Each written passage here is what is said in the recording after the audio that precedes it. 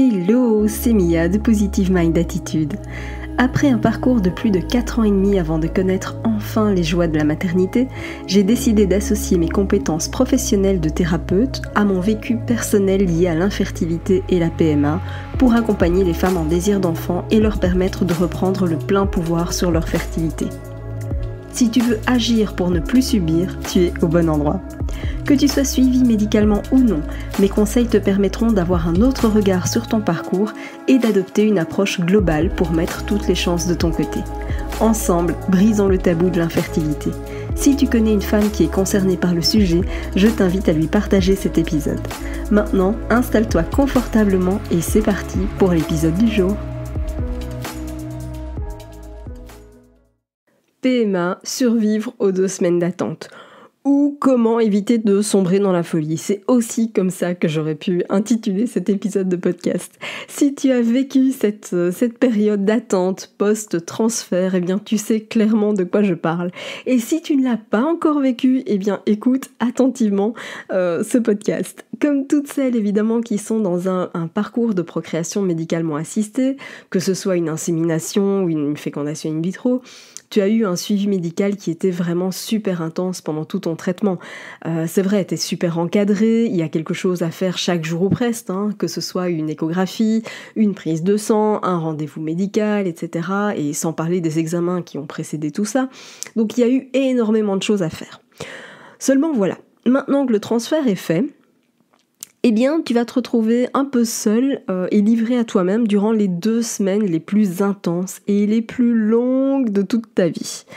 Euh, alors, peut-être que tu en as parlé autour de toi, peut-être que tu as regardé sur Internet, euh, mais en tout cas, tu as l'impression de vivre les montagnes russes émotionnelles durant ces deux semaines d'attente et tu crains de sombrer peut-être peu à peu dans la psychose. et si c'est le cas, encore une fois, rassure-toi parce que tu es loin d'être la seule. Je l'ai vécu moi aussi, et plusieurs fois d'ailleurs, et pour aider quotidiennement les femmes à traverser cette période, eh bien je peux te dire qu'être soutenu et conseillé, eh bien ça fait toute la différence. Et c'est d'ailleurs ce qui m'a poussé à la création d'un programme en ligne spécial pour t'accompagner justement quotidiennement durant ces deux semaines, un peu en mode calendrier de l'avant. Tu vois, chaque jour un conseil à appliquer. Et donc chaque jour, je partage avec toi une technique bien-être à mettre en place euh, pendant chaque jour euh, durant ces deux semaines d'attente. Et si je l'ai conçu de cette façon-là, eh bien c'est parce que je veux que cette période soit bien plus simple à vivre pour toi qu'elle ne l'a été pour moi.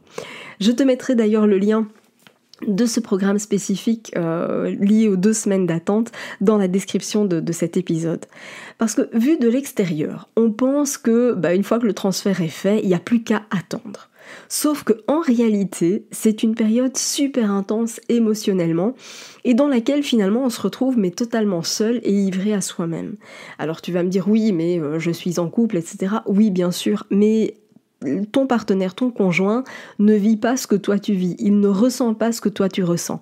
Et donc même s'il est euh, soutenant, même s'il est à tes côtés, tu vas malgré tout très souvent avoir l'impression de te retrouver seul euh, parce que toi tu es confronté à plein plein de choses. Dis-toi que euh, tu as aussi eu des hormones de, de façon surdosée et que tout ça, ça va accentuer cet effet de yo-yo émotionnel, d'accord? Et puis il faut se dire aussi une chose, c'est que ces mêmes hormones, vont être à l'origine de nombreux symptômes qui sont d'ailleurs très similaires à ceux d'une grossesse. Et donc forcément, tous ces symptômes-là, eh ça empêche souvent de penser à autre chose qu'à ça. Tout te rappelle en permanence que tu viens de faire une insémination ou un transfert dans le cadre d'une fécondation in vitro. Et quand je te dis que tout te rappelle en permanence euh, que tu es dans les deux semaines d'attente, ça peut être vraiment tout et n'importe quoi. Ça peut être une femme enceinte dans la rue, une publicité, euh, un petit mot que tu entends au détour d'une conversation, etc. etc. D'ailleurs, dans l'épisode numéro 1 euh, de ce podcast, je t'ai parlé du système d'activation réticulaire. Alors, si tu n'as pas encore entendu cette épisode de podcast, eh bien, je te conseille vraiment d'aller l'écouter. Euh, et si tu l'as déjà entendu, eh bien, je te fais un petit rappel quand même. Donc, ce système d'activation réticulaire, c'est quoi? Eh bien, c'est un ensemble de fibres neuronales qui jouent en gros le rôle d'intermédiaire entre toutes les informations extérieures et celles qui arrivent au cerveau. Donc, pour faire simple, on peut dire que ce système d'activation réticulaire, c'est un filtre. Sinon, on deviendrait complètement dingue tellement on perçoit d'informations chaque seconde. Et donc ce, système d'activation réticulaire, il va fonctionner comme un filtre, j'irais même jusqu'à dire que c'est plutôt un missile guidé même, euh, parce que ton cerveau donc va filtrer les informations pour faire parvenir à la partie consciente uniquement les informations qui sont en lien avec ta préoccupation du moment. Et c'est ce qui explique pourquoi ces deux semaines d'attente sont encore plus compliquées que le reste. Et on va pas se mentir, si la première semaine est compliquée, elle passe encore relativement vite. Mais alors la deuxième semaine, c'est de loin la plus pénible. Tu aussi en permanence entre la joie et l'excitation à l'idée que cette tentative soit enfin la bonne et que tu sois enceinte, et en même temps, tu as un sentiment super étrange qui te dit que c'est foutu et que ça marchera jamais. Et si tu vis ça, encore une fois, c'est parfaitement normal. Et en plus de ça, euh, eh bien tout à ça va s'ajouter finalement une sorte de culpabilité permanente de risquer de faire un truc qu'il faut pas. Tu vois, euh, le fait de, faire une sortie entre amis, euh, de porter un sac trop lourd, etc. Tu vas dire oh là là, mais peut-être que je dois pas, etc., etc. Et donc, bienvenue dans le monde du psychotage total. Alors maintenant, ce que je veux que tu retiennes absolument, c'est que quand on est euh, enceinte de façon spontanée, bah forcément on l'apprend bien plus tard euh, que quand on est en PMA. D'accord? Donc ça veut dire quoi? Ça veut dire que puisqu'on l'apprend un peu plus tard, puisque en général on se rend compte de cette grossesse après euh, avoir eu un retard de règles, eh bien forcément on va l'apprendre une, deux semaines plus tard comparativement à toi qui es en PMA. Et donc, ça veut dire quoi? Ça veut dire que ces femmes qui sont dans des, grossesses spontanées, elles n'ont pas été emballées dans une bulle pendant deux ou trois semaines. Donc ça veut dire que si ton embryon doit s'accrocher, eh bien, il le fera. Ce que je voudrais te dire avant de conclure cet épisode, je voudrais simplement évidemment préciser que je comprends, mais alors à du 3000% ton impatience. Et pour autant, je te déconseille, mais alors fortement, de résister au test de grossesse. Oui, je sais. Même le test précoce. Je te déconseille fortement de le faire. Pourquoi?